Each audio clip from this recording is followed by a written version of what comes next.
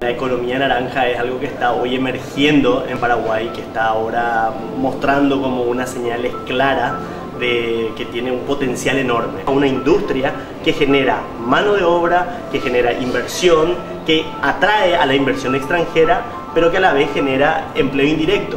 Porque cuando se desarrolla una película no es que solamente se le emplea al actor que está detrás de cámara o al director que está detrás de cámara, sino que a un montón de otros, eh, otras personas y otra gente que también trabaja en la película. Los, que, eh, los taxistas que eh, transportan a la gente, los hoteles que hospedan a las personas que vienen para el rodaje, un montón de otros profesionales y otros, otros servicios y productos que también son contratados para, este, para, este, para esta producción.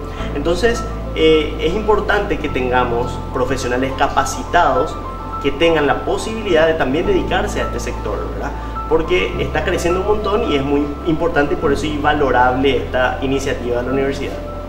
La ley ya está con media sanción dentro del Estado, tenemos los convenios iberoamericanos firmados, tenemos clarísimo lo que queremos como instituto, o sea, tenemos pasos agigantados y cosas que ya sabemos que nadie nos puede quitar.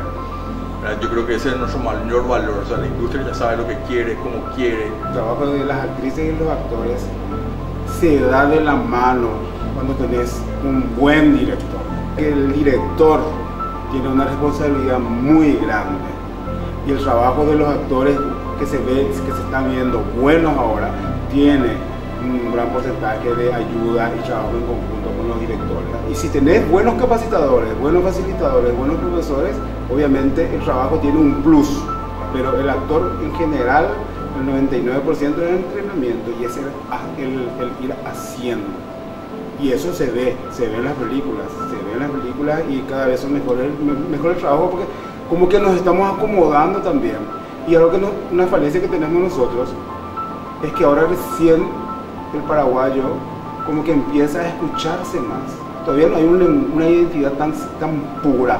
Nos estamos encontrando, ¿verdad? No como el cine por, acá de nuestros vecinos eh, o argentinos, que son los más grandes cercanos, ¿verdad?